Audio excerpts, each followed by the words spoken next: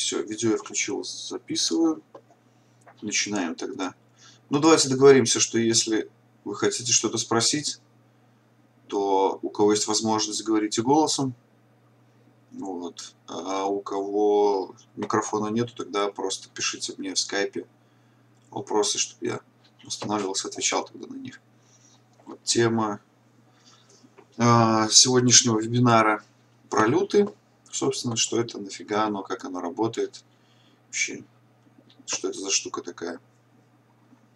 Э, суть вообще начнем давайте с понятия быстренько лют. Там буквально 10 минут теории, чтобы было понятно, кто для чего это придумал и как этим пользоваться. А, Лют – это в переводе, с, если расшифровать с английского, lookup table. Таблица преобразования цветов, соответствие цветов, преобразования можно по-разному перевести. То есть это какая-то, ну не база данных, кривая, а, матрица какая-то, где хранятся значения цветов входных, и в соответствии с этой табличкой они изменяются и становятся э, другими. То есть если представить 2D люты, то они, сейчас я найду, то они выглядят вот так вот 2D люты. То есть это обыкновенные кривые, RGB кривые, без ничего сложного. То есть по сути те же самые кривые в фотошопе, в After Effects, это тоже по-своему лют, потому что табличка некая функция, в соответствии с которой изменяется входное значение и превращается в выходное. Ничего сложного. 3D лютый это уже просто трехмерная матрица с огромным набором каких-то значений. То есть, к примеру, там заходит значение 000 по RGB, а преобразовывается, например, в люте в значение 5, 10, 15, к примеру. Их очень может быть много вариантов. То есть то, что мы настроим, так оно и будет работать. Вот этот вот статья, она очень интересная. Кто знает английский, сброшу сюда в общий скайп. Сможете с ней знакомиться. Почитать, как эта штука вся работает. Вообще люты, если брать по назначению, их существует три типа. Разделить можно на три отдельных группы. Первая группа лютов это технические люты, это профили мониторов, а, вот калибраторы, когда на них вешают и калибруют, вот этот калибратор создает файлик который потом загружается либо в монитор, если монитор поддерживает такие профили, либо же в э, видеокарту. Ну, не видеокарту, в драйвера видеокарты, точнее. Вот. И вот этот файлик это тоже LUT, ICC профайл. Э, не знаю, у кого есть профессиональные мониторы, наверное, может быть, не раз такое делали. Э, также технический лют используется в калибровке принтеров, э, различных всяких печатных устройств, Короче, все, где любые девайсы, где используется работа с цветом. Второе назначение это техническое преобразование, скажем так. Первое это калибровка была, а второе это техпреобразование. Техпреобразование это, например, э, преобразование э, цветового пространства, например, фото, видеопленки в пространство какого-нибудь пакета, там, или, например, пространство монитора, еще что-нибудь. То есть, например, из логарифма в линейку, ну, в линейную гамму, или из лога в REC 709. Ну, скажем, техническое назначение. То есть, когда ты работаешь с материалом в композном пакете, у тебя оно в одном в пространстве, а потом тебе нужно, например, его отпечатать для э, пленки, э, которую будет потом крутить в кинотеатре, это другое цветовое пространство. Ну и третье назначение, это художественное, то, про которое мы сегодня будем в основном говорить. Э, люты позволяют нам влиять на картинку, менять ее цвет. И это самое главное, что это работает как пресет, очень удобно. Создавать можно в разных пакетах и перебрасывать в разные пакеты. Вот. Ну, в принципе, по ходу я буду еще на каких-то местах останавливаться. Ну, если теоретически, то я думаю, на этой части можно остановиться и переходить к практике. То есть просто запомните, что LUT это по-английски lookup table, таблица преобразования цветов, соответствие цветов либо преобразования представляет из себя некую матрицу, в соответствии с которой входные значения изменяются и выходят уже немножко измененными. А, самым простым примером люта а, может быть, сейчас я открою файлик, как его можно использовать. Сейчас так, интересно. Сейчас, white balance, вот, вот эта вот штука. Вот, вот, у нас слева, например, есть э, картинка с неправильным балансом белого завален, а справа нормально отбалансированная картинка. А, для того, чтобы привести ее в нормальный вид, мы пользуемся кривыми, с ней все в порядке, ну, мы ее выровняем, все будет как надо. И вот эта вот кривая, это тоже будет по-своему лютом таблицы преобразования цветов. Но вот есть такая замечательная фишка, а, как круто балансить. Ну, я говорил, что баланс белого, еще расскажу заодно. Фишку такую, просто тип, tips and tricks. А, как круто балансить такое синее изображение, либо наоборот слишком теплое. Вот такую картинку в After Effects обычно очень тяжело балансить, потому что сейчас я заброшу, чтобы показать здесь. Вот у нас есть изображение, и очень тяжело взять просто кривыми ее. Вот я подвину, чтобы только эту часть видеть.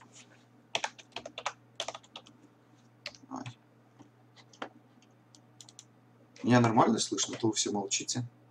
Что-то никто ничего не пишет. Все здесь вообще живой кто-нибудь есть.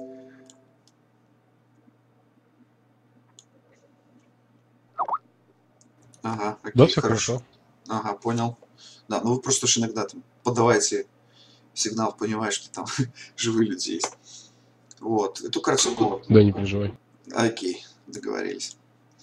А, Достаточно тяжело отбалансить, потому что нет особо инструментов контроля того, что происходит. То есть это все происходит на самом деле на каком-то таком интуитивном уровне. То есть мы там пытаемся подвигать, посмотреть кривую, то есть белую. Ну, где-то, наверное, вот так. Но это все происходит на интуитивном уровне. И сделать это правильно, ну, по-настоящему корректно, достаточно тяжело. Можно, но тяжело. Поэтому есть очень простая методика, которая позволяет делать такие штуки. Вот, к примеру, у нас нету референса, у нас только вот такая корявая штука есть, и все, и больше ничего. Как нам отбалансить такую кривую картинку? Да, в принципе, очень легко. Выбираем, открываем Photoshop. Если мы, например, работаем с видео, то просто мы сохраняем один кадр, ну, например, там, не знаю, в PSD-шку или во что-нибудь, и открываем его в Photoshop, этот кадр. Если работаем с фоткой, ну, то туда сразу открываем. А, Выбираем инструмент пипетка.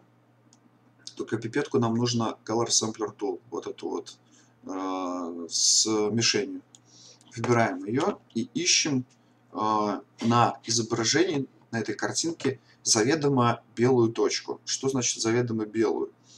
То есть, например, мы сфотографировали снег, но у нас завален баланс белого, и снег стал синеватым. Но мы-то знаем, что в природе снег всегда является белым, и ну, точно по нему можно балансироваться. То есть в данном картинке мы знаем, что предположительно белые, что у нас будут? Предположительно белые белки у людей, предположительно белые, ну относительно белые зубы, хотя я не рекомендую, потому что они обычно желтоватые. Вот. И могу предположить, что на этом изображении у чувака белое поло одето. То есть оно, скорее всего, на самом деле не голубое, а белое. Чтобы отбаланситься, мы выберем вот здесь одну точку мишень. И вот видите, у нас в разделе, info тут появляется значение вот этой нашей точки, которую мы выбрали. То есть мы вот все двигаем, двигаем, а вот здесь вот сохранилась мишень. Ну, вот, значение мишени по трем каналам RGB. У нас есть точка белая, белого, и аналогично нужно сделать для черного. А, Подвис экран, говорите, да? Так, подождите, сейчас пробуем. Сейчас есть, ожило все. Вот, смотрите, двигаем. А, все, супер. Ура, заработало. Еще раз тогда повторю последний кусочек, чтобы уже точно знали, что все в порядке. А, мы ищем самое белое место на экране. Мы знаем, что, скорее всего, его футболка на самом деле была белая, но если вы это снимали, то вы точно будете уверены. Вот, ну, где-нибудь побелее место выбираем, например, где-нибудь. А, ребят, не сказал такую штуку. А, вот здесь вот в sample size лучше всего делать 3 на 3, а не point sample. Point это что значит? Мы возьмем один какое-то значение одного конкретного пикселя. Понятно, что все пиксели немножко разные рядышком. Если мы подвинемся, видно, что там они отличаются, причем так достаточно серьезно. Чтобы брать какое-то усредненное значение того места, куда вы тыкаете, выбирайте либо 3 на 3, а, либо 5 на 5. Ну, я обычно 3 на 3 делаю. Вот ставим сюда мишень, пристреливаемся, чпок, и вот видим, вот здесь вот появляется значение 170, 202, 249. Это значение RGB вот этой точки. Теперь нам нужно сделать то же самое для точки черного. То есть точку белого мы сделали, теперь точку черного. Ну, давайте, например, чтобы не совсем уж черное было, а такое примерно черное где-нибудь вот тут отстрелимся. Вот у нас появилось второе значение 4, 14, 33. Почему я сделал не полностью в черном, что я поставлю где-нибудь, ну, даже, например, мне кажется, здесь еще одну точку поставлю. А, но тут все равно попалось. Все. 5, 12, 25. Вот представьте, что у нас будет 3 нуля, если совсем черное, и нам не почему балансировать будет, нет информации. Нужно, чтобы какие-нибудь значения здесь были. Вот, поэтому вот 4, 14, 33 шикарно, нас более чем устраивает. Что мы делаем дальше? Э, сейчас мы будем создавать тот самый люд, который будет балансировать это изображение в нормальный белый. Вот мы открываем кривые обыкновенные, ничего сложного. Э, подходим к точке. Так, переходим, например, сначала в красный канал. Сейчас поясню просто, что мы будем делать. Э, нам нужно балансировать, соответственно, все три канала таким образом, чтобы картинка привелась к нормальному балансу белого. А, я чаще всего рекомендую балансировать только красный и синий канал, не трогая зеленый. А, почему так? Ну, во-первых, чаще всего зеленый верный, потому что... О, еще кто-то у нас добавился, шикарно. Чаще всего зеленый верный, так как на зеленый больше всего информация отводится в файле всегда на сохранение. Ну и матрица лучше всего понимает зеленый канал. Поэтому лучше всего балансироваться относительно зеленого и его не трогать. И вот вы можете даже здесь посмотреть, даже вот яркий очень пример. Красный у нас 170, зеленый 202 и синий 249. И вот получается зеленый между ними, он посередине, э, в точке белого. В точке черного аналогично, он тоже между ними. Вот, то есть, ну, он обычно всегда между красным и синим. Понятно, что если мы там будем траву балансировать, то, конечно же, зеленый будет смещен. Но во всех остальных ситуациях обычно он посередине. Выбираем красный канал, первым будем его делать. Подходим вот к этой нашей точке белого нажимаем, нажимаем Ctrl, зажимаем и тыкаем вот в это место, где мы выбирали в прошлый раз. Мы видим, что появляется вот такая точка вот здесь вот на кривой. Эта точка соответствует именно вот, вот этому значению вот здесь. Ну, теперь мы просто тянем за линию таким образом, чтобы вот эта циферка вот здесь вот стала 202, такая же, как у зеленого. Просто тягаем в разные стороны и смотрим. А, вот нам надо вверх. Ищем 202. 202 подгоняем, подгоняем, подгоняем. Эти, эти. О, есть. Черт, чуть-чуть промазал. Вот, 202. Вот, мы сравняли значение. Теперь то же самое для точки черного. Зажимаем Ctrl, тыкаем в то же самое место. Вот оно получается в самом низу. Но оно очень-очень-очень близко к низу. Поэтому, наверное, стоит э, тянуть не за эту точку, ее все-таки удалить лучше а тянуть вот, вот здесь вот, вот за эту прямо точку, потому что совсем уж близкое значение. Так, нам нужно подогнать, чтобы у нас было 14. Вот, подогнали 14.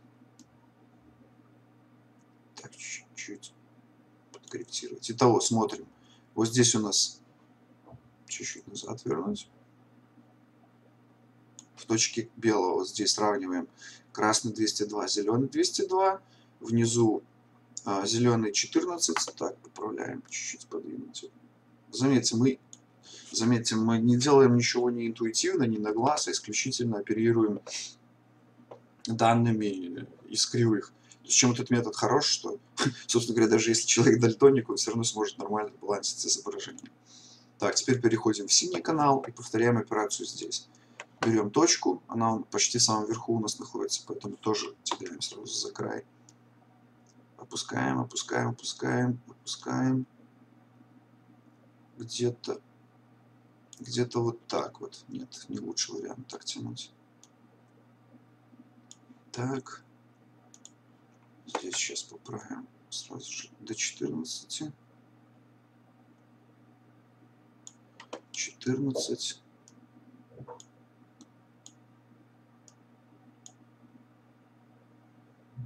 Так. До 202 надо опустить. Черт, что-то не очень пока получается. Сейчас попробуем. О, о, о. 202. отъезжаем, смотрим. Сравниваем результат до, после. Ну, скажу, что вот здесь я промахнулся однозначно, потому что здесь майка превратилась скорее в желтую. Значит, это место лучше чуть-чуть вернуть, может, назад даже. Тоже можно подкорректировать, посмотреть. Но однозначно нужно сказать, что баланс белого стал более правильным, чем то, что было.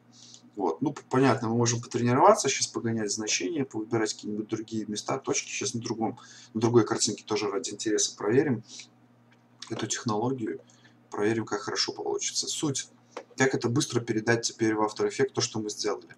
Никуда не, не применяя эти значения, не нажимаем ни на ОК, ничего не делаем. А, просто вот здесь вот выбираем вот эту шестереночку, нажимаем Save Preset а, на рабочий стол и называем ну, пресет 1, короче. Пресет 1. Сохранить. Замечательно. Идем в After Effects. Вот наша картинка. А, здесь тоже кривые. И вот здесь вот есть такая штука замечательная Open. Нажимаем, идем на рабочий стол. И вот наш сохраненный пресет. Открываем, открыть, хлопысь, все. Наши настройки перенеслись в After Effects. Вот. Еще раз повторяю, чем крутой метод? Тем, что мы имея возможность инструментов вот с этой пипеткой, к сожалению, таких вот мишеней в After Effects поставить нельзя, мы можем очень клево отбалансить изображение и перенести это в After Effects. Просто вот так вот буквально одним движением.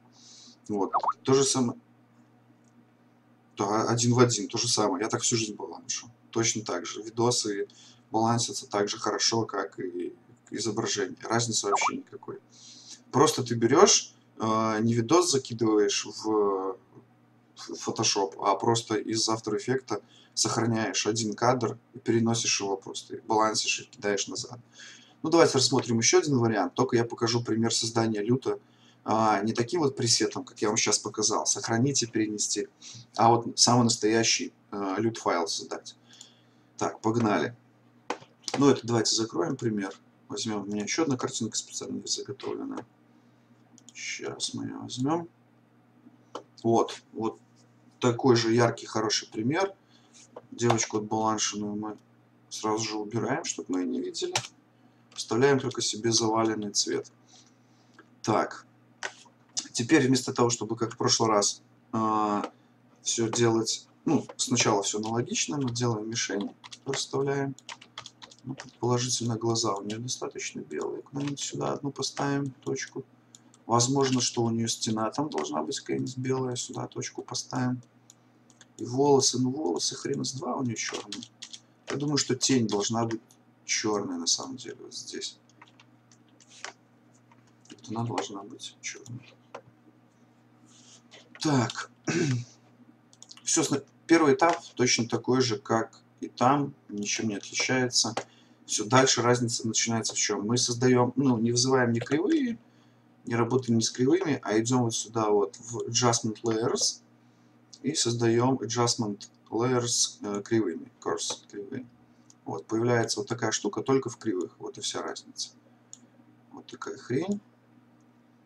Дальше, все то же самое, выбираем красный канал, по тому же самому принципу, как мы и работали. Вот здесь нажимаем вот на этот вот палец, чтобы взять значение вот отсюда. Чпок, вот у нас появляется вот эта точка. Так, а где у нас там инфа? Почему я инфо не вижу? View. Давайте отлепим инфо. И кривые, чтобы видеть, что происходит. Вот наши значения все. Тоже получается красный канал 223. Зеленый 189. Опускаем до 189. Опускаем, опускаем.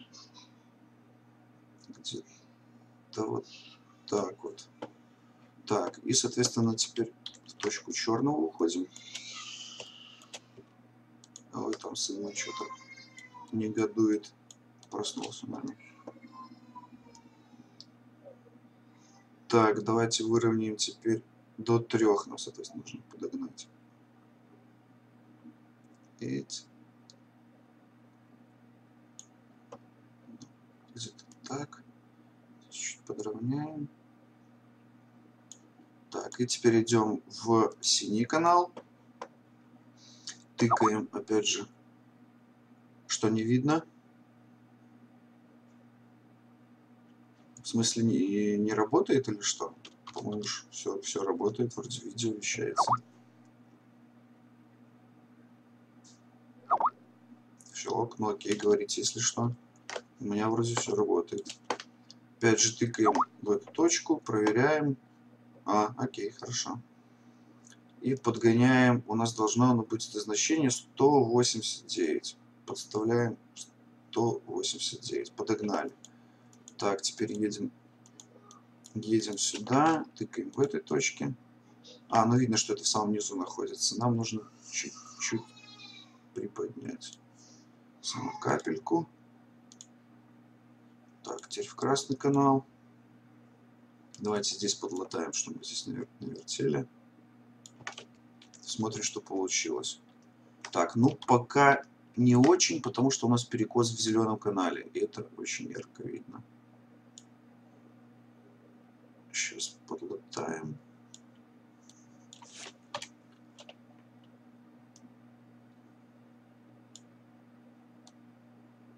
189 есть. Так, 192 возвращаем. Смотрим 189, 189, 189, 3, 3, 3. Сравниваем до-после. Вот, видите, отбаланшенная картинка. Все. Отбалансировали ее.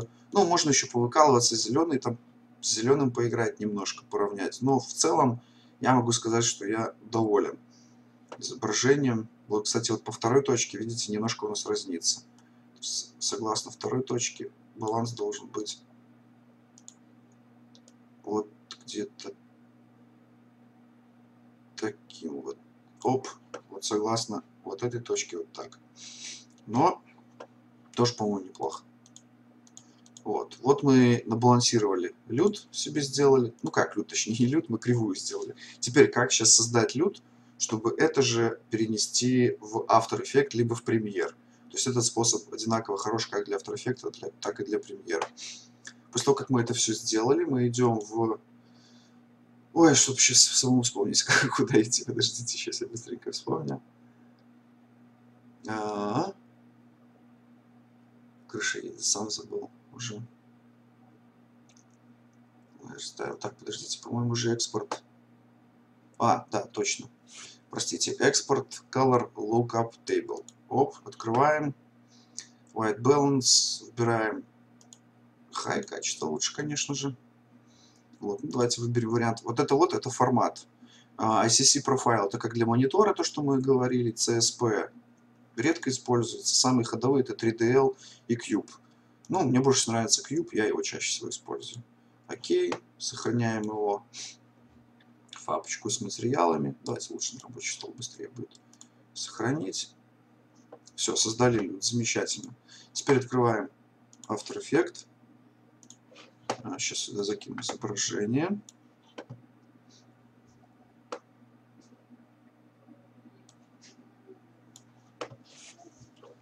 Вот оно наше изображение. Так, опять же, сдвигаю, чтобы мы не видели. Готовое. И выбираем эффект в After Effects, который называется Apply Color Lute. Применяем его, как только мы его применяем, к нам сразу же вываливается вот такая вот табличка. Choose Lute File. Э, идем на рабочий стол, выбираем вот этот White Balance Cube, открываем наши настройки. Сейчас он подгрузится. Ну, давай, давай, давай. Очухивайся быстрее. Блин, там долго грузится. О, наши настройки из Photoshop. Вот они в одно движение переносится в After Effects. Все, что мы накрутили, все, это балансировалось.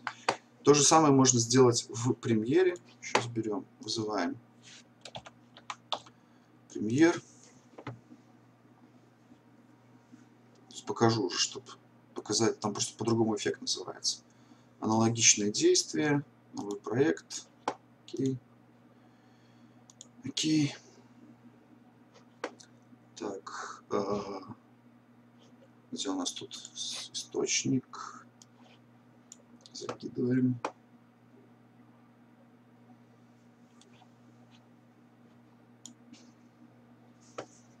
Вот у нас создался проект. Ну, представим, что мы видео закинули, а не картинку, это значение не имеет. Идем в эффекты. И в эффектах ищем Lumetri. Вот он, Lumetri. Применяем его к видео, к изображению, пофиг на самом деле. А, эй.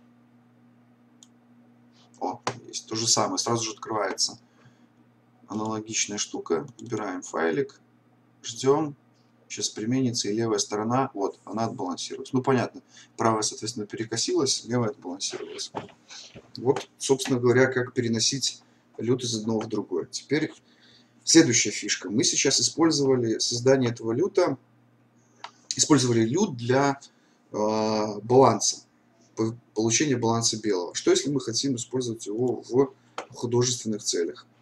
Ну, соответственно, вот у нас, например, есть пару клевых DNG-шек хороших. Сейчас я поищу. Нет, давайте другую какую-нибудь, что-нибудь поинтересней. Ну вот, по-моему, ничего такая.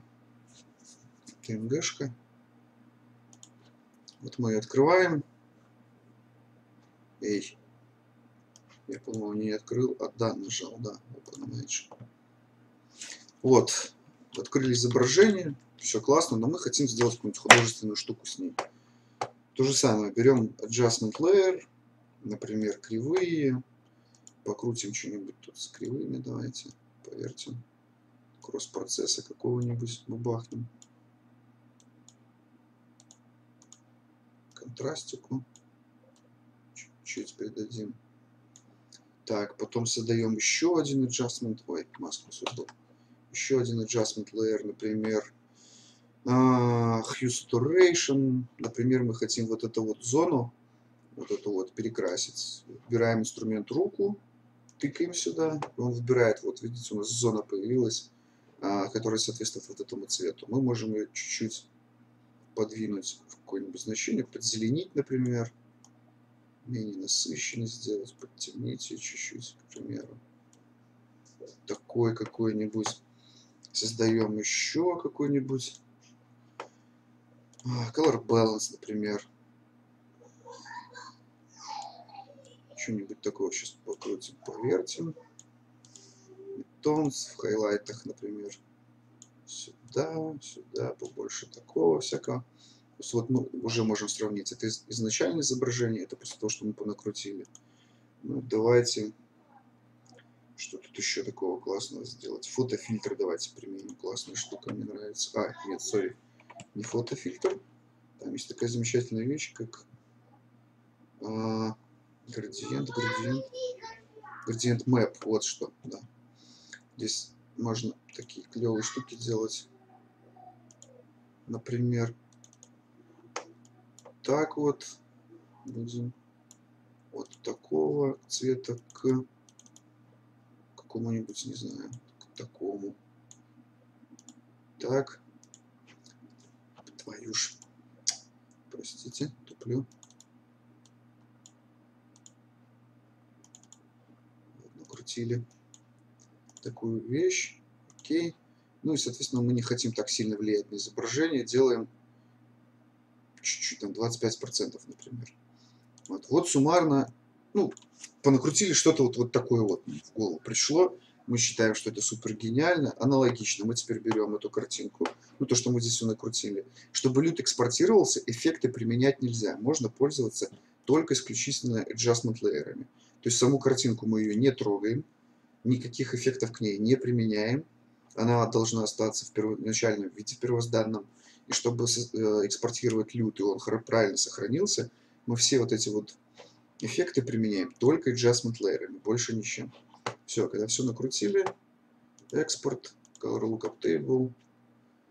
Давайте не high medium, чтобы не так долго было. Ну и назовем его loot 2. Сохранить. Идем в After Effects. Открываем эту DNG, которую мы там крутили-вертели. Сейчас она откроется. Окей. Создаем композицию. Вот она наша картиночка. Apply Color Lute. То же самое. Lute 2. Опа, готово. Смотрим. Здесь и здесь. На что влияет качество люта при экспорте? Хороший вопрос. А, смотри, сейчас покажу, на что влияет. А, так, где тут картинку люта найти какую-нибудь трехмерную? А, ну в принципе это и сойдет. Вот смотри, а, мы сейчас Cube использовали, который, это 3D лют, то есть он выглядит вот так вот, как матрица. Соответственно, а, чем выше качество лют, ну там самое ключевое слово, это не high medium, ну, это как обычно фотошоперы все адобовцы упрощают. А ключевое значение это вот это вот количество точек. Максимальное может быть у нас 256, но не рекомендую никогда в жизни этого не делать. И здесь написано grid points. Это сколько точек в решетке по одной оси. Соответственно, чем больше у тебя точек по одной оси вот в этой решетке, тем точнее у тебя перенесется цветокор. То есть тем на более мелкие зоны влиять на картинки ты можешь и так далее, и так далее. То есть если у вас очень сложная какая-то там, не знаю, цветокор со сложными очень масками, то лучше выбирать повыше качество. Если что-то очень простенькое, то достаточно вот такого мелкого, там 32 точки экспортируйте и все. Короче, количество точек вот в этой вот матрице 3D люта.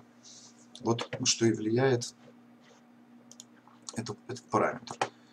Так, вот в After Effects показал, все это применилось, аналогично работает в Premiere. Все то же самое. Мы в проект закидываем картиночку. То же самое по такому же... А, ё, точно, простите, не покажи, я забыл, что пример DNG не поддерживает. Ну, короче, если его конвертнуть в EXR или в TIFF, будет все то же самое. Закинули, применили Lumetri, кинули лют, все заработало, все круто, все понятно. Вот теперь вы сможете, когда захотите, делать вот такие супер крутые штуки. В любой момент времени. Так, что еще полезного? Вот смотрите, какой нюанс. А, давайте расскажу. Меня просто много раз про это спрашивали. Очень геморройная тема на самом деле. Вот э, очень клевая штука, когда открывается вот эта камера RAW, и ты можешь здесь ну, кучу всяких цветокоров накрутить. Вот э, всякие изображения, там, ну, короче, вот все, что тебе понравилось, ты можешь здесь понаделать. Тоже куча классных инструментов. Как это потом сохранить? У нас есть возможность потом Save Settings, вот здесь вот эти э, значения сохранить в виде файлика они сохранятся в виде XMP, но их можно будет применить только к DNG файлам. То есть вот этот цветокор к любым другим не применяется. Единственный способ это в бридже, Adobe Bridge указать, открывать JPEG и PNG тоже как DNG, и тогда к ним можно будет применить вот этот вот сохраненный пресетик. Но в реале, короче, не рекомендую этим пользоваться. Такой не очень способ полезный. А, так, ну теперь поехали ко всяким крутым штукам, как создавать классные всякие люты, показываю, покажу, в чем принцип, как это все работает. То есть вот, например, DaVinci. А, у нас, например, есть изображение, вот такое. А, сори, не добавил его.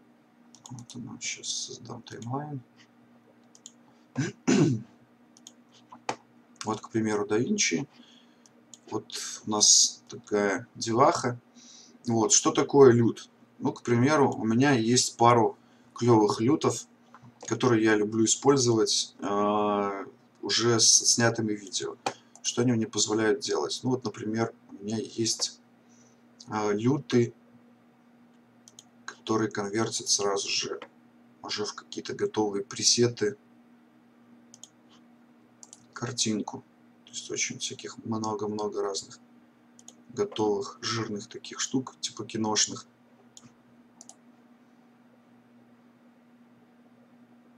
Которые дают разные оттенки, всякие разные цветокоры и так далее. Но, к примеру, мы этого не хотим. Мы хотим наваять свой люд и применить его, например, в After Effects либо в премьере. Что-нибудь такое очень клевое. Ну, давайте хотим мы для начала подправить красный, к примеру. Сейчас откинем его по-быстрому. Покажу, как это работает. Там все живые, все в порядке. Тишина такая. Может, уже никому не интересно. все ушли. Так, сейчас пока, сори, никого не вижу, где тут скайп, а, вот скайп. А, смотрим. Окей, хорошо. А, сделали масочку по красному каналу. Например, мы хотим его чуть-чуть сочнее сделать и чуть-чуть сместить, например, в такой, в более, в розоватый, например. Потом сделаем еще какой-нибудь общий цветокор по тени в холодный уведем, например. Как сейчас модненько очень тени вводить в холодный. А, а верха, наоборот, в такой в более теплый уведем. Так. Следующим, следующей нодой подправим сейчас чуть-чуть. Совсем уже темную точку. Сейчас, секунду одну. Сейчас следующую точку черного подправим. Так.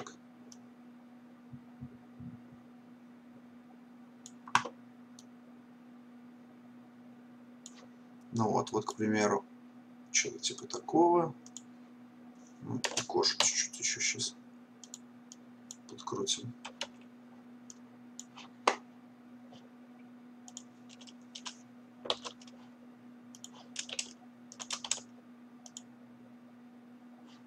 Сейчас пару секунд подправлю эти косяки.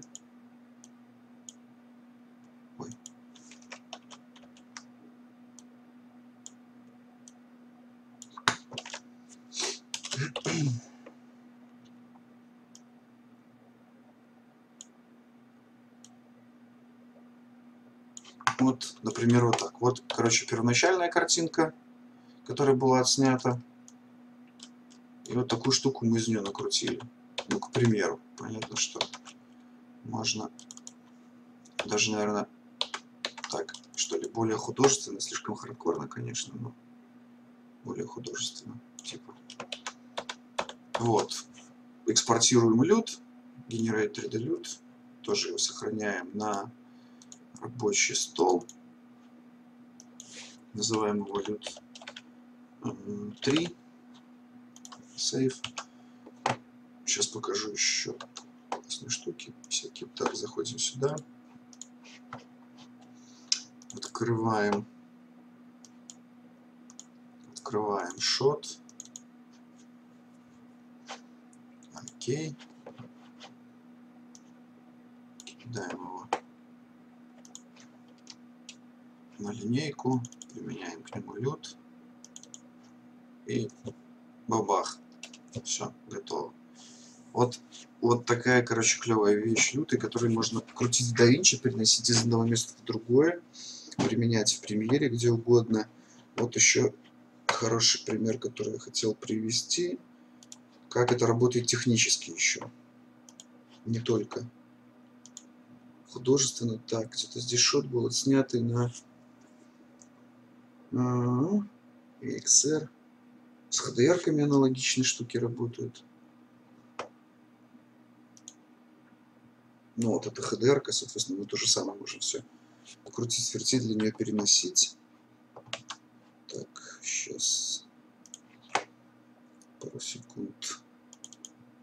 А, вот, нашел, нашел.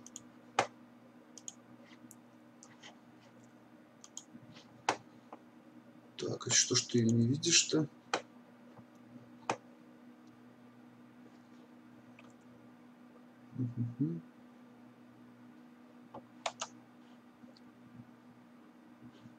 Странно. Почему-то не хочет видеть изображение одно. Вот отснятый на камеру Ари. Все логи, соответственно, материал. Я хотел показать его как...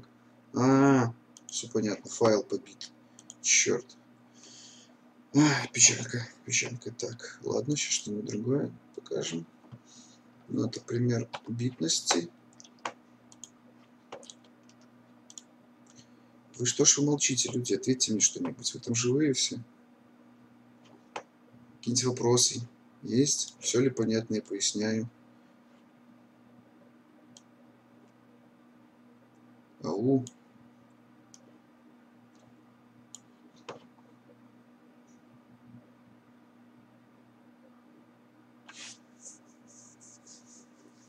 Все понятно, окей. Если просто что-то непонятно, вы меня останавливаете, переспрашиваете. Я на каких-то местах просто более подробно. А, что, что ты имеешь в виду по словам разобрать? Посмотреть, из чего они состоят, в смысле? Ну, как, как их достигли или что? Ну, то есть есть просто очень много... А, понял. А, нет, к сожалению, этого сделать нельзя. Ты можешь просто понять, как это все работает. Очень много туториалов по тому, как создаются люты. Вообще, всяких таких штук крутых. Вот очень крутой сайт. Настоятельно его рекомендую. Color Grading Central. Тут очень хорошие туториалы. У них вот продаются вот эти вот люты, в том числе, которые я вам только что показывал. Сейчас подгрузится. Вот эти Осирис, вот мы их только что смотрели. И тут очень много рассказывается про то, как оценивать изображение, как с ним работать, как получать. Ну, то есть, вот, соответственно, а, суть процесса. Например, у нас что-то наснято на определенную камеру. Мы, вот, например, Ari Log C, мы его конвертируем в обычный лог при помощи, опять же, люта. Мы сами над этим не заморачиваемся. И применяем какой-нибудь пресетик, вот, который они уже наваяли и получаем супер такую крутую жирную картинку. То есть все, все это очень подробно расписано. Рекомендую это повтыкать, почитать. Очень полезная вещь. Вот эта вещь, я ей все время пользуюсь. Она позволяет симулировать, э, позволяет симулировать, сейчас попытаюсь пояснить, какую штуку, пленку.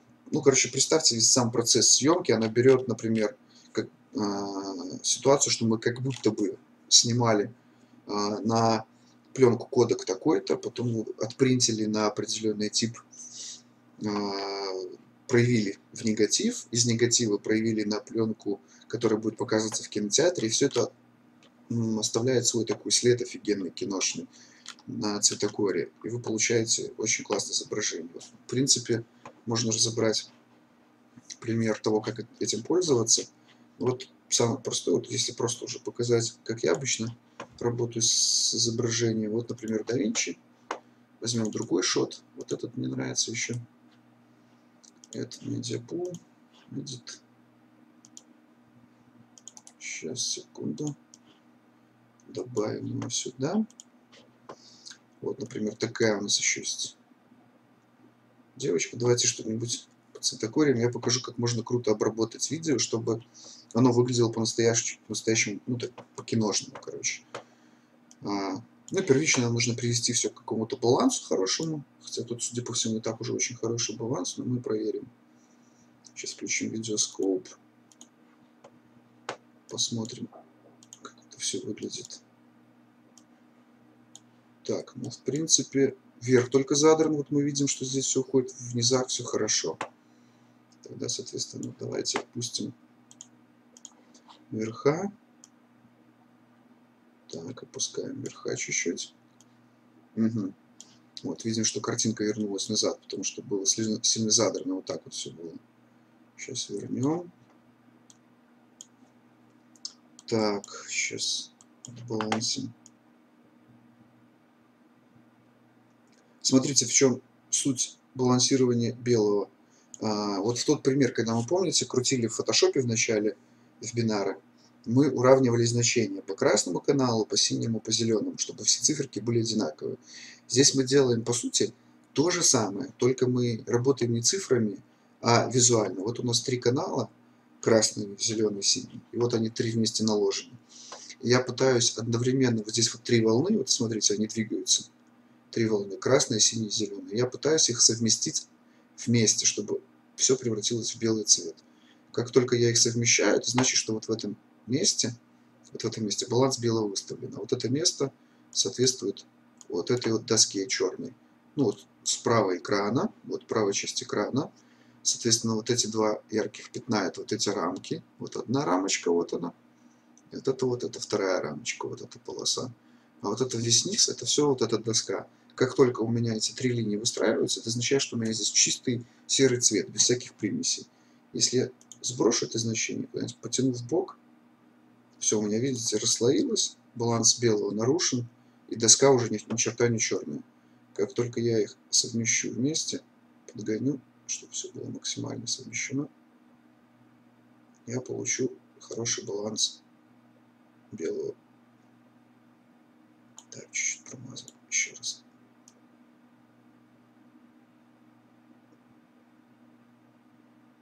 Вот. Вот так вот. Все очень просто, на самом деле. Аналогично можно в белом покрутить, но у нас тут и так неплохо. Особо каких-то перекосов нету. Все замечательно. Так, включим сейчас.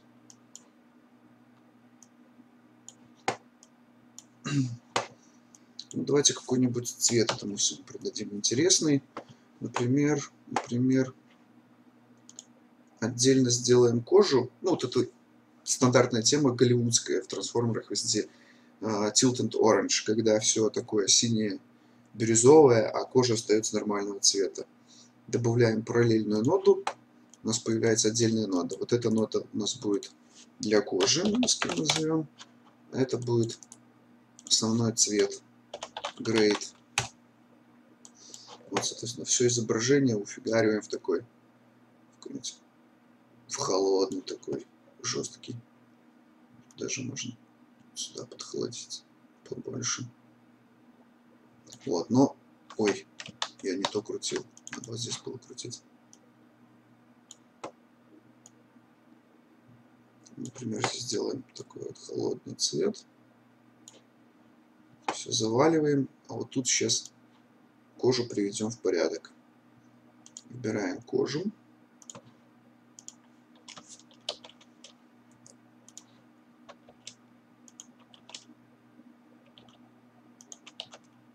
Так, вроде ничего. Подправляем масочку для кожи.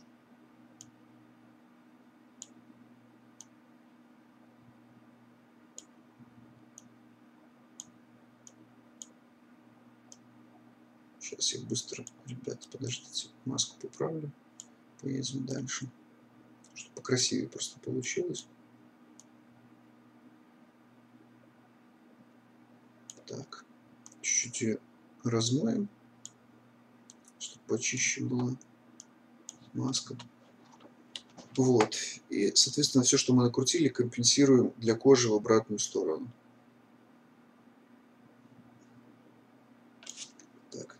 мне не нравится. Лучше данные.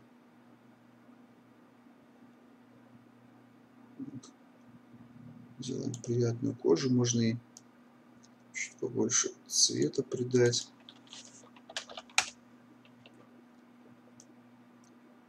Примеру. Так, здесь чуть-чуть наоборот. Допустим. Так. Теперь чуть-чуть подвыровняем низы, тени точнее. Так.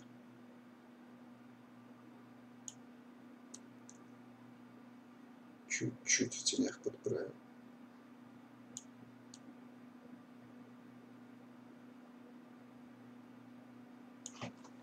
Ну, вот, например, что-нибудь типа такого. То есть с аккорда после посветлее только надо сделать. Интересно, контраст потерялся.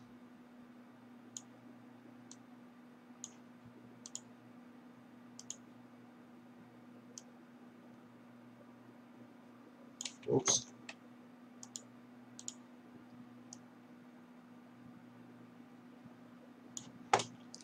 Так.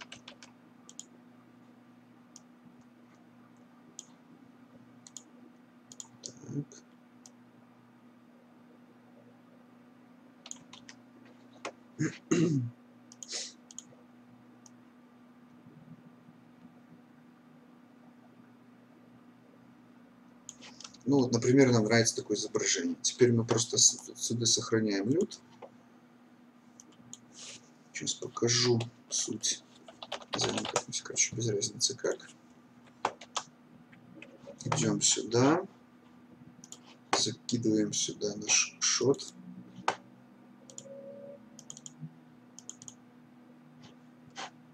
Окей. Правило номер один. Когда вы работаете с видео и с лютом, первым делом нужно убрать шум с картинки. Вот видите, она очень шумная во всех трех каналах. И этот шум при применении люта будет очень хреново выглядеть. Вот, поэтому первым делом убейте шум. Я чаще всего пользуюсь плагином NetVideo Reduce Noise, он такой самый, наверное, advanced, что ли, продвинутый. Очень удобный очень клевый. Ну, вот, здесь неплохая зона. По ней давайте отобьемся. Еще здесь можно попробовать. Все-таки тут получше. Да? Переходим, проверяем до, после. Ну, неплохо. Вот, до и после. Я не знаю, хорошо ли видно это на стриме, но реально убивает вообще просто полностью. Вот если сравнить, смотрите на руки, на все. Вот это было до, это стало после. Очень хорошо убирает шум. Сейчас можно смело применять лют, не боясь того, что у нас тут жутко поплывут цвета.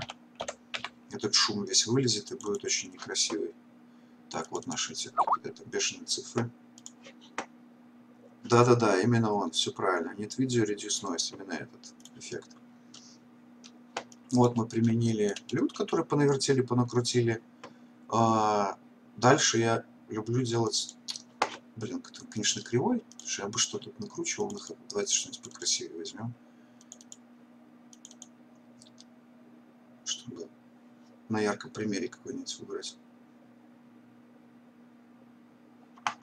Но не самый лучший.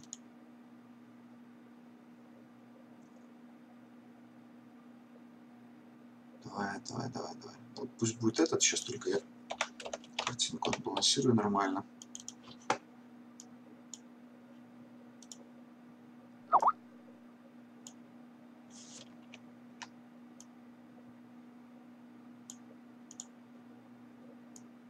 И тише.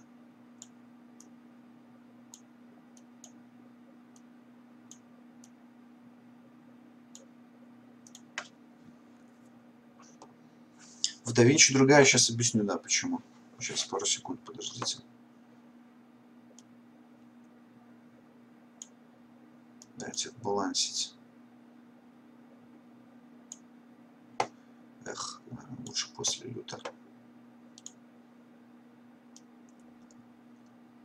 Не дает нормально. Вот, чтобы получить прикольный киношный эффект, берем Unsharp Mask, кидаем в конце их штук 5, просто смело вот так вот фигарим. И меняем значение радиуса следующей, в следующей последовательности. 300, 150. Я, по-моему, в прошлом вебинаре про эту штуку говорил, если мне память не изменяет. 75. И вот здесь сделаем значение не 50, а пятерка, пятерка, пятерка, пятерочка и пятерочка. Последнее оставляем по умолчанию. Вот это дает такой эффект киношного шарпа, что ли, не знаю, как его назвать. Вот если сравнить до-после, то получается ну, такая разница. То есть он такой полу HDR, что ли, эффект накидывается сверху. А, это первая штука, которую я делаю. Второе, я обычно сверху кидаю скан настоящей пленки. То есть в интернете, если поискать, могу сейчас, ну, после вебинара найти информацию, вам сбросить сюда. Э, материал, скан пленки кодек, его э, закидываешь сюда прям в композицию, кладешь сверху над этим слоем, по оверлею смешиваешь, делаешь там процентов 20, у тебя прямо поверх этого видоса появляется настоящее зерно киношное, которое выглядит просто вообще супер. Вот. Э, так как сейчас у нас этого зерна нету, можно воспользоваться замечательным плагином Film Convert Pro. Вот, включить у него тут все изменения по Film Color. По всему эти всякие пресетики сейчас уберем. А вот шум можно оставить. Тут очень клевый шум такой, прям тоже как, как у пленки настоящий. То есть в зависимости от того, какую пленку выбираете, меняется шум. Это тоже фактически скан настоящей пленки. Можно 100%, а, например, 60 оставить. Вот, сравнить до-после. Добавляется такой хороший нормальный шум. Но, конечно же, круче всего использовать настоящий скан с настоящей пленки. Еще раз повторю, что после лекции я тогда найду ссылочку, скину сюда. Так, отвечаю на вопрос по поводу DaVinci другая картинка. Тут есть такой момент, сейчас я открою, чтобы было с чем сравнивать. Что не всегда корректно переносятся маски. Это очень большая проблема лютов. Иногда они работают нормально, иногда ненормально. Вот конкретно сейчас покажу пример. Предполагаю, что это из-за того, что мы сделали маски параллельными нодами. Вот, у нас две параллельные ноды. И поэтому цветокор кожи, если отключить, вот он не перенесся, и сравнить то, как это выглядит в After Effects, вот, один в один. Проблема в том, что я воспользовался параллельными нодами. Если бы я поступил вот так вот, вот сделал эту картинку, и следующую последовательно поставил, и у нее уже сделал ключ по коже, то она должна перенестись нормально. Есть ли другие стандарты для пакетов цветокора по передаче какой-либо информации? Нет, только лютые. Лютые, они, ну, и в Африке лютые, все только ими пользуются, больше ничего нет. Сейчас вот я покажу, тут уже все должно нормально сработать. Просто я привык цветокорить в DaVinci, поэтому ну, я не заморачиваюсь о том, что а, информация должна быть правильно передана из одного пакета в другой. Соответственно, сейчас я про это забыл и не учел просто этот косяк. А сейчас вот все должно перенестись правильно. Сейчас я размою. Вот, делаем все то же самое. Выгоняем цвет. Подправляем. Хайлайты сюда. Shadow сюда. Вот, короче, подкрутили. Теперь смотри, генерируем лют, называем его skin, чтобы не перепутать в луксе не чувак. К сожалению, лукс это, как я не знаю, как что это, как Photoshop с Paint сравнивать. Лукс это вообще, ну, такая детская, на самом деле, парафининка, что... И если ты хочешь что-то максимально близкое, похожее к DaVinci получить внутри After Effects, то рекомендую тебе посмотреть предыдущий вебинар, который мы тоже в этом чатике писали. Я там рассказывал про Color Finesse. Сейчас я его быстренько еще раз покажу. Это максимально близкое к тому, что может быть. Но еще колориста более или менее. Что-то там такая она есть можно. Ха, неужели не сработало? Странно. Слушай, вот, вот это сейчас странная тема. Она должна была сработать. Да, да это что значит да точно? Я сейчас, честно говоря, удивлен, какого фига не сработало. Хорошо, так, а если мы поступим по-другому? Да, да, да, про прошлый вебинар. Ага, ага. Так, сейчас проверим. Есть еще такой вот офигенный инструмент. Hue vs Hue. Мы выбираем точку какую-нибудь. Вот здесь появляется вот такая тема. Если мы ее будем крутить, вертеть, она будет разные стороны менять цвет. Сейчас подвинем чуть-чуть, отстроим.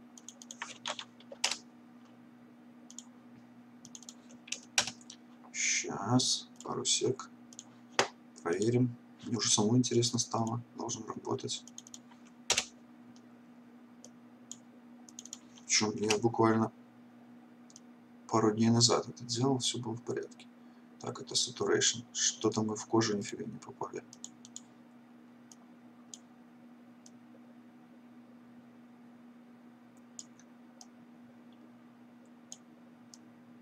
Да, странно, тут не хочет. Сейчас.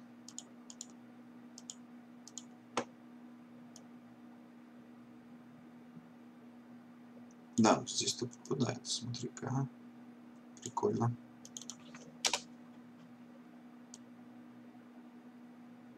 Сейчас сделаем.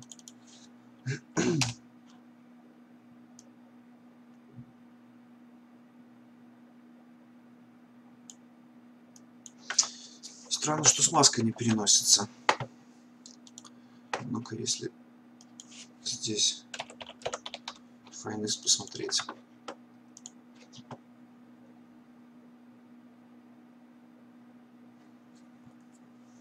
Если хотите, хотите хорошо цветокорить, учите DaVinci, серьезно. Кстати, DaVinci бесплатный. Скачать его можно на сайте Blackmagic. А платная версия только которая с хорошим шумодавом и с возможностью работы со стереоизображениями.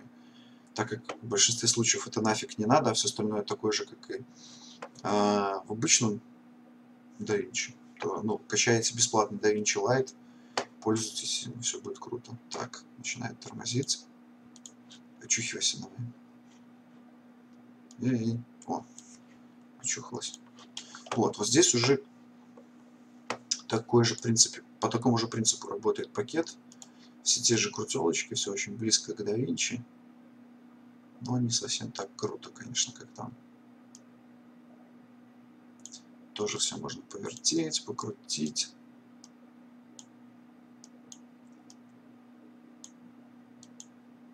Ну, вот, конечно, не сравнить то качество картинки, которое получается там. Еще нюанс такой, что мы работаем с DNG-шками, а DNG-шки, они такие не очень хорошо крутятся по сравнению с, с MXF тем же самым. И вот лучше всего их, например, цветокорить прямо вот здесь. Если мы посмотрим ту же экспозицию, то вот здесь она, видите, гораздо корректнее работает, чем мы будем ее крутить внутри After Effects. Поэтому лучше здесь заходить, подкручивать там всякие нюансы потом уже работать с этим материалом в After Effects. Даже чуть-чуть покрутив, мы сейчас заходим сюда, и картинка оп, изменилась. Сразу же выровнялась. Вот, так, что-то я хотел показать еще полезного. Черт, я очень расстроен, что не скачался файл ARI, потому что я хотел показать, как выглядит кто-нибудь вообще влоги видел, как картинка снимает? Ну, там, например, я не знаю, э, Canon Log или еще что-нибудь. Как картинка вообще выглядит. Сейчас я быстро найду. Вот DaVinci можете скачать. Здесь Products, DaVinci Resolve. И вот тут она сейчас загрузится. Вот, вот здесь можно ее скачать бесплатно. Так, Силок.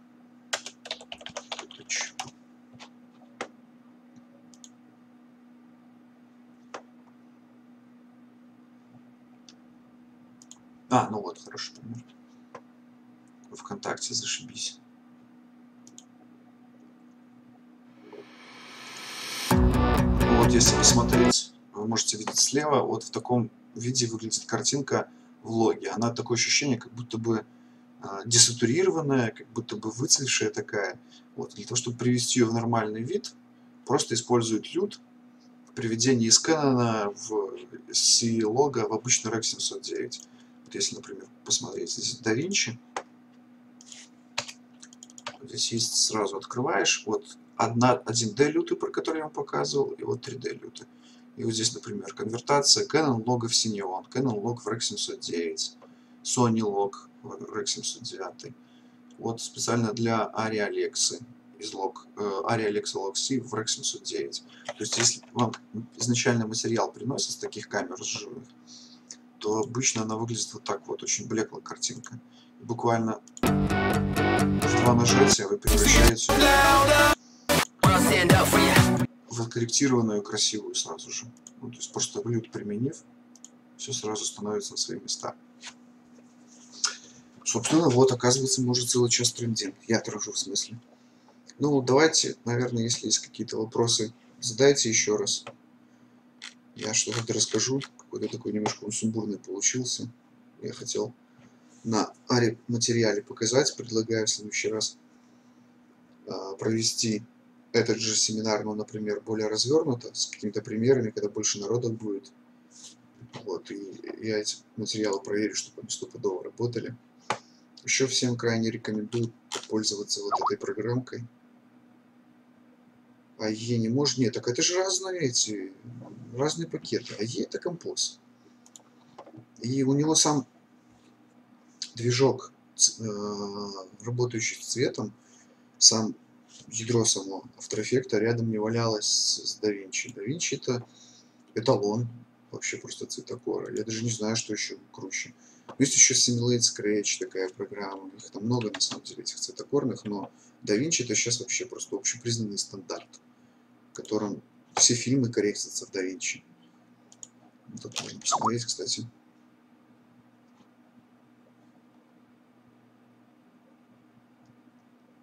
Угу. Как правильно сделать правильный оттенок кожи? Бинго, правильный ответ. Ой, правильный вопрос, в смысле. Для этого, чтобы вы всегда в любой ситуации, что бы ни случилось, могли круто отцветокорить материал, покупаете вот сейчас я покажу, что покупаете. Есть такая супер-супер вещь. Сейчас пару секунд. Подождите, ребят. Вот она. Покупаете себе X-Ride Color Passport, либо на крайняк покупаете себе мишень. Вот такую вот. Вот эти мишени стоят э, не очень дорого, вот это уже стоит дофига. Вот эта штука. И перед тем, как начать снимать видео, просто в камере, ну, показывайте в кадре вот эту табличку. Когда у вас в кадре есть вот эта табличка, вы, например, открываете DaVinci, к примеру, Можете все что угодно открывать. Это я просто пример привожу. И здесь есть вот такая замечательная штука. Выбираем решеточку Color Chart, подставляем к тому месту, которое там у вас есть на экране, где-то у вас решетка там есть. Нажимаете здесь на кнопочку Match. Ну, сейчас у нас ничего не будет, все криво станет, да, потому что ну, у нас этой таблички там нету. И картинка балансится идеально, всегда. Что бы вы ни делали, что бы у вас не происходило по этой табличке, все всегда идеально балансится. Если у вас такой таблички нету, или хотите вы работать... Ну, ладно, сначала рассмотрим, у вас эта табличка есть, но вы работаете в After Effects, а не в DaVinci. Что делать в таком случае? Вирусная база О, данных не, успешно я, обновлена. я, конечно, хотел бы тебя обрадовать, что ее можно распечатать, но хрен из два. Проблема в том, что ни один принтер не отпечатает ее эталонно, а тебе же нужны эталонные цвета, понимаешь, прям вот просто идеальнейшие. Поэтому лезешь на eBay и покупаешь самую дешевую, которую там найдешь.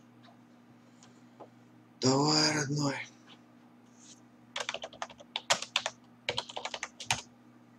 Как она там, Color Chart называется, или что она там называется? Вот, пожалуйста ищешь вот такую максимально похожую на настоящую, но это 149 до хрена, ищите какую-нибудь, реально, короче, они есть дешевые, если поискать, то можно баксов за 20 себе заказать настоящую, о, о, вот, ребята, 10 баксов покупаете, это же офигенно вообще. Вот, вот такую вот покупаешь за 10 долларов и забываешь про свои проблемы навсегда вообще просто. А, что делать? если ты не работаешь в DaVinci, но работаешь в After Effects, и такая табличка у тебя есть. Ну, собственно говоря, все достаточно просто. Суть в том, что у этой таблички сейчас покажу, вот, чтобы было понятно. Вот это вот этот цвет кожи. Ты можешь всегда примерно сбалансировать кожу, подогнать под нее. Это вот табличка от белого к черному. Соответственно, если у тебя есть такая табличка в кадре, ты всегда найдешь точку черного, точку белого, и по тому методу, который я показывал в фотошопе, сохраняешь один кадр, переносишь в фотошоп, одну мишень пристреливаешь сюда, одну пристреливаешь сюда, либо сюда, пофиг, они тут все хороши. Выравниваешь идеальный баланс белого. Кожа всегда вот здесь. Если у тебя есть такая крутая табличка, то тут вообще все клево. Тут э, можно менять температуру теплее, холоднее, в зависимости от того, где ты снимаешь. Вот для улицы, соответственно, вот более такие будут Э, в, в холодное уйдет, здесь более, наоборот, в теплое уйдет. Вот для разных ситуаций разные оттенки, все, что хочешь, короче. Вот. Но эта штука дорого стоит. Не, ну, я бы зажал денег. Вот эту я бы купил. Тем более, что за 10 баксов ее, почему бы и да. А что делать, если у тебя нету ни таблички, ничего вообще нету, а снимать надо и отбалансироваться нужно. Так, есть точ, точное значение цвета кожи, под него делаешь. А, да, да, да, да, да. Правильно про Файниси отметка. Я сейчас быстренько покажу. Но не все так просто. Нужно помнить, что есть разные расы людей.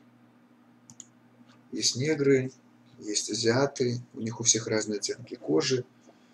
Очень тяжело кожу подгонять, реально. Это такая... Тем более вы помните, что она относительная. Если у вас холодный цветокор, вы же не будете делать кожу, как при теплом цветокоре. То есть она все равно должна быть с оттенком. А у нее все равно должны быть какие-то ну, влияния от освещения.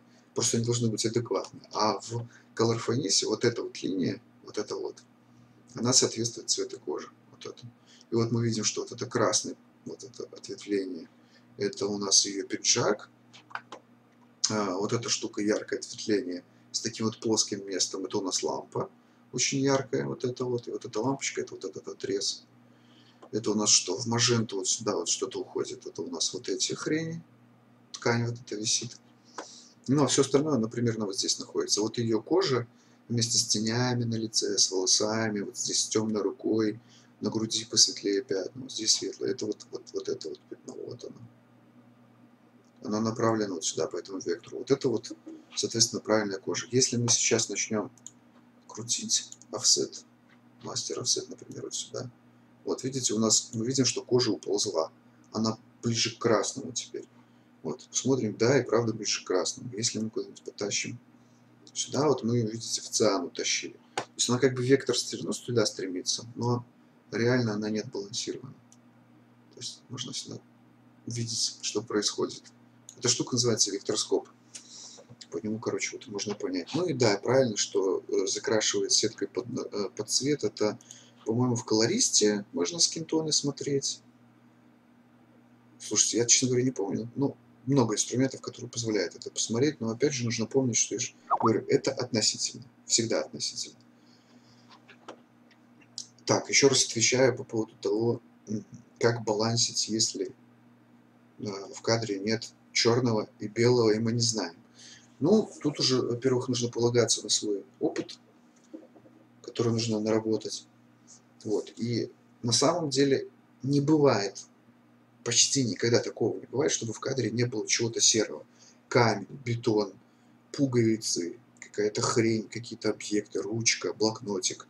Что-то в кадре есть обязательно, то, что нейтрального тона. Ну, нейтрально я имею в виду, что оно либо черное, либо серое, либо белое. Главное, что оно никуда не смещено.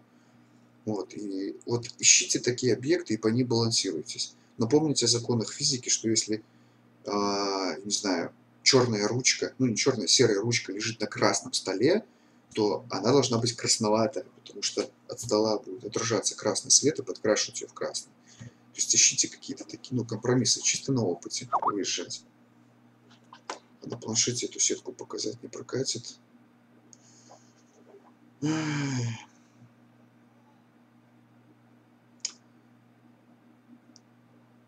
Девяносто девять процентов, что нет. Сейчас поясню почему. Например, у нас планшет даже супер крутой цветопередачей. Например, у нас там, не знаю, супер эталон на iPad, который очень круто показывает цвета. Смотри, в чем ключевая разница. Независимо от того, каким цветом, цветом, извини, каким цветом ты светишь на планшет, его цвет не будет меняться. Короче, сейчас по-русски попытаюсь сказать. Смотри, если я буду светить на эту табличку, на белый, холодным цветом, то он окрасится в холодный. А планшет свет не отражает, он его излучает. Ему похер, какое вокруг освещение, холодное, теплое. Ну, мы же пытаемся балансировать по отраженному свету, а у планшета излучаемый. Поэтому, чуваки, жалейте 10 баксов, купите себе сеточку и забудьте на веки вечный про баланс белого просто и все. Ну, это такой самый...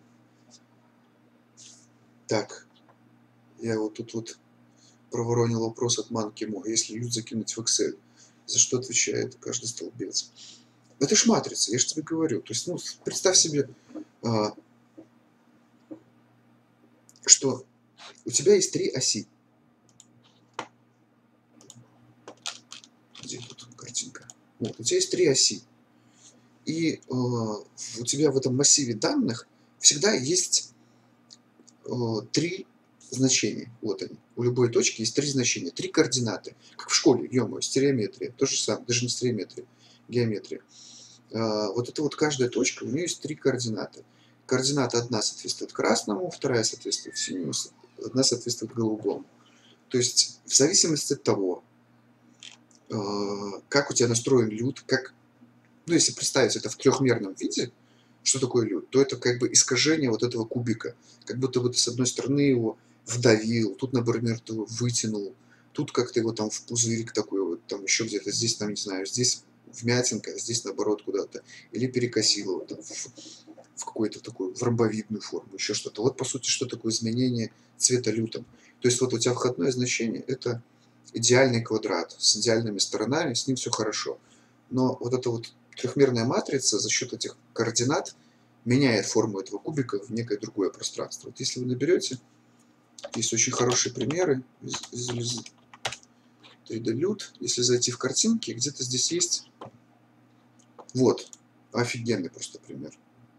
Это вот был обычный кубик, вот такой вот, его загнали в лют, и вот эта матрица, она так вот искажена, она как бы меняет это пространство, чуть-чуть меняет цвета. Вот, вот, собственно говоря, и все в такую штуку превращается. Вот тоже, вот очень хороший пример того, как меняется пространство. Его чуть-чуть подгибает в каких-то местах, где-то что-то, ну, то есть визуализированные люты, скажем так. А, так, можно бабки в чате собрать и позвать тебя на мастер-класс по посту и синему 4D. Позвать меня на мастер-класс по посту? А что, что именно интересует и зачем бабки? Я не понял.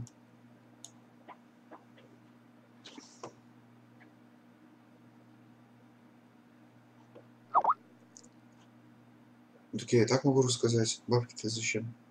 Мне интересно, я могу поделиться. Ну, просто ты имеешь в виду какую-нибудь сцену, да, типа, как собрать, как она собирается, разбирается, да? То есть там, а, мотивация. Ну, мотивация это да. Не, на самом деле очень похожую как раз тему, которую ты прямо вот спросил, как, как знал, что называется. Я сейчас такую же тему готовлю для своих ребят на работе. И как раз, ну, проект, который я разберу, я его просто потом возьму и вам тоже расскажу, чтобы меньше готовиться к нему было. Какие еще остались вопросы? Какие остались непонимания, что такое люд? Как он работает? Ну, хотя бы самое главное, все поняли, э, важность этой штуки поняли все? Нафига она нужна, ну и что на самом деле важная вещь. Она позволяет очень много чего избежать, быстро накрутить, нарулить.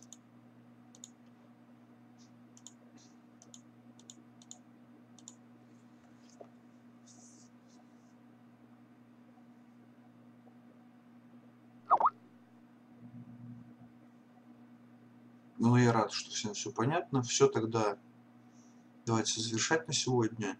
Э, если не собирается больше народу, тогда в следующий раз уже бомбанем нормально. Со всеми остальными материалами, не как в этот раз, что почему-то он криво скачался. Я просто очень хотел показать, как работать с материалом с разных камер. То есть там с Ари, например, с Реда того же, кстати. Вот можно в следующий раз будет раз одно Red захватить и все остальное.